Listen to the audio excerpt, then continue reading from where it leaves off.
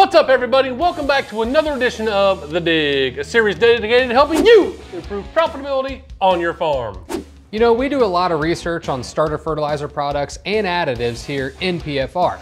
So in today's episode, we're gonna take a look at some starter programs for both corn and soybeans. But before we do that, I'm Aaron, this is Collin. Let's dig in!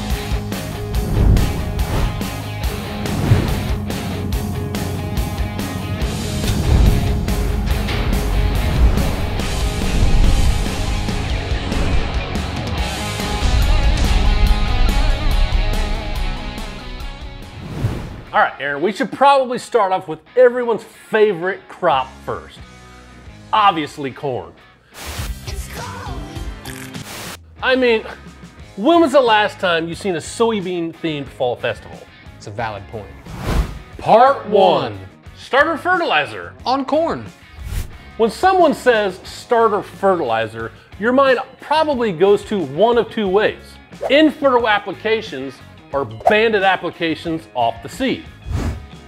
Banded applications refers to two by two, two by two by two, dripping on top of the ground, you know, those kinds of things. But what do you say we kick this off by talking about in-furrow starter products first?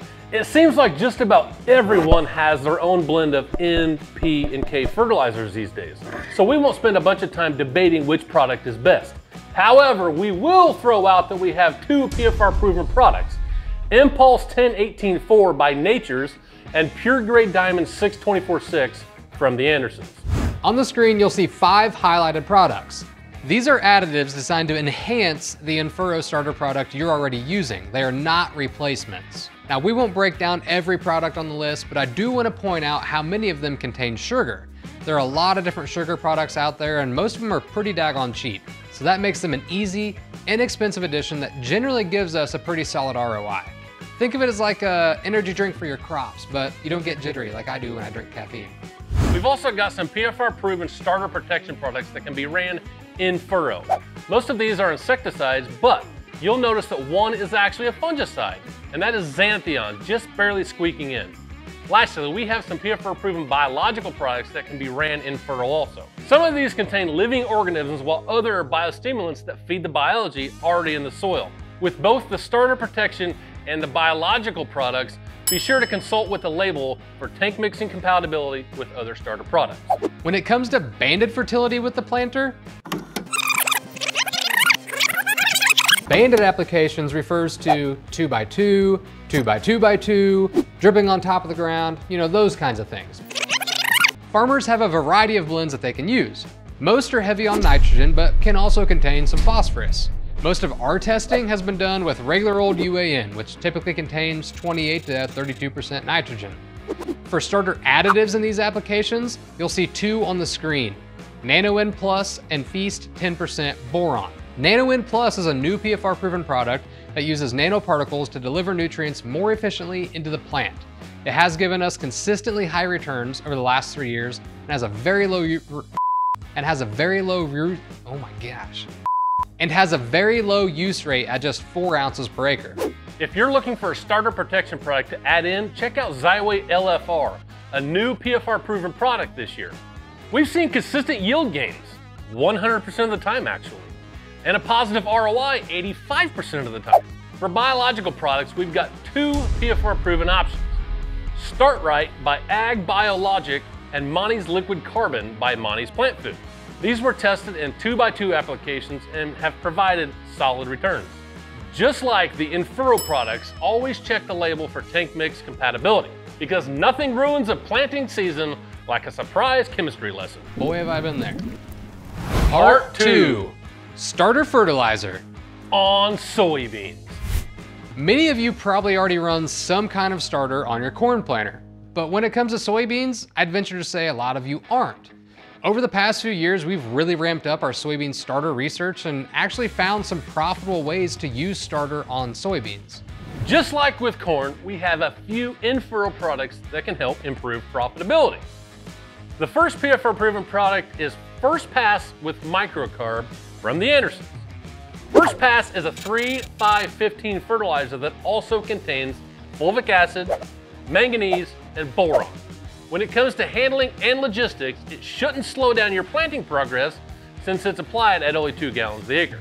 If you're looking for some in-furrow protection for your soybeans, we have two insecticides and one fungicide that are PFR proven. We've got two variations of capture from FMC, both insecticides, and Serenade ASO, a biological fungicide from Bayer. Some other biological products include Terramax Liquid In-Furrow and Envita. These products contain living organisms and help inoculate the soil. More and more we get questions from farmers. I've got one planter for corn and soybeans and it's outfitted with 2x2x2 or dribble tubes. What can I do for my soybeans through that system? After years of testing, we can confidently recommend two products for those setups. The first one, and the one that gave us the highest return on investment, is good old UAN. We found that 30 units of nitrogen is that sweet spot, just enough to kickstart those soybeans, but not enough to inhibit natural nodulation. We've also seen good results from using two gallons of Thio-Sul, a 120026 fertilizer. The ROI hasn't been quite as high as the UAN, but the returns have been slightly more consistent. So this coming year, we're actually looking at a combination of UAN and sulfur on soybeans to see if that's an even more profitable option. In summary, Collin, give me the meat and potatoes. There are a ton of different starter fertilizer blends out there.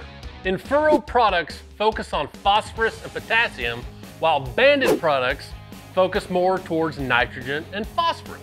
We've got a handful of PFR proven additives that can enhance your current starter or provide pest protection. And always check labels and do a jar test before adding anything new to your system, unless you like surprises and not of a fun kind. Not the fun ones. Hopefully you guys can take a lesson from today's episode and try something new this spring when it comes to starter fertilizer on corn or soybeans. With that, we'll have links in the description for the studies we covered in this episode.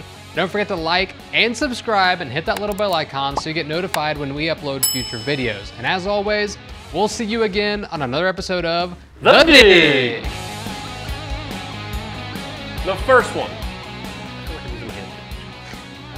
I always talk with my hands. I was, I, I was getting no, I was getting down to your level because like I flat out can't see that top that top line, so I'm getting, getting down to your level to see if I can see it. Good. That's good. So, He's not going to use it anyway. all right, Give fine. me the fish and bread. Give me the fish and bread. Okay, all right.